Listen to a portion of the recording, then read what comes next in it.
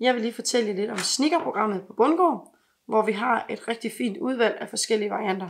Fælles for dem, der står her på bordet, det er, at de alle sammen er bygget op på den samme liste og den samme sål.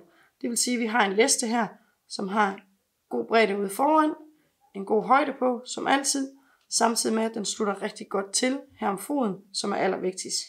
Ligeledes så har vi selvfølgelig vores klassiske hælkappe, som er lidt smallere her i indsteppet, så den slutter til. I de modeller, vi har med snøre her til pigerne, nogle rigtig fine modeller, fælles for dem er, at de har lynlås, det vil sige, at første gang barnet tager dem på, snører man dem til, derefter så bruger man lynlåsen, således at de er let at få af på. Man kan som altid tage indlægssålerne ud og prøve barnets fod på og se, hvad der passer. På drengemodellerne her har vi i stedet for arbejdet med velcro, det vil sige, har man en lidt smallere fod, så lukker man velcroen til, og så kan man ligesom altid klippe af her ved vores klippesyninger. Det sorte, I ser herude foran, er TPU, det vil sige, det er et super slidstærkt materiale, som stort set er umuligt både at ris og ødelægge.